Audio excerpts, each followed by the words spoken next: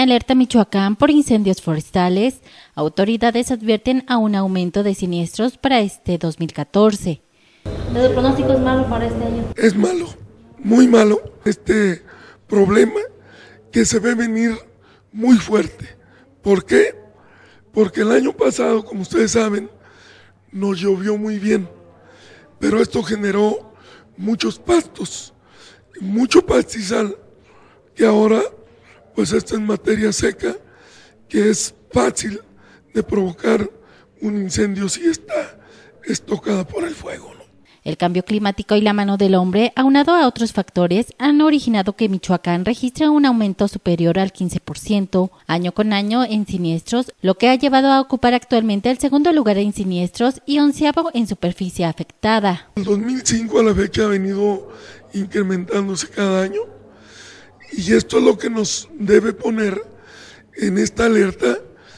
Hemos tenido un aumento más o menos de un 15 10, 15% cada año, pero va a la alza. ¿La principal causa? La mano del hombre, la intervención del hombre. El año pasado fueron 1.118 incendios forestales, se afectaron 16.000 hectáreas. Eh, principalmente Morelia tuvo la mayor superficie quemada y Uruapan el mayor número de incendios. En el segundo lugar en, en número de incendios y en onceavo en superficie afectada a nivel nacional. Para enfrentar esta problemática, autoridades forestales de protección civil y comunales reinstalaron este miércoles el Comité Técnico Forestal que contará, entre otras cosas, con el apoyo de un centro regional de apoyo aéreo. Tenemos 43 brigadas del gobierno del estado, tenemos 18 convenidas con la, con la federación, con la Comisión Nacional Forestal, la propia Comisión Nacional Forestal tiene las suyas, se está implementando un centro regional que va a funcionar desde Jalisco para apoyarnos también si se ocupa si nuestra emergencia se traduce más, más grave, nos apoyarán también con, con helicópteros.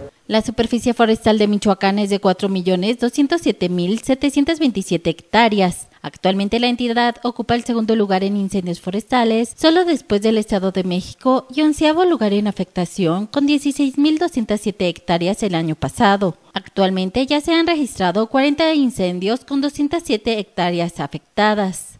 Con información de Sandra Sáenz, informa Cuasar TV.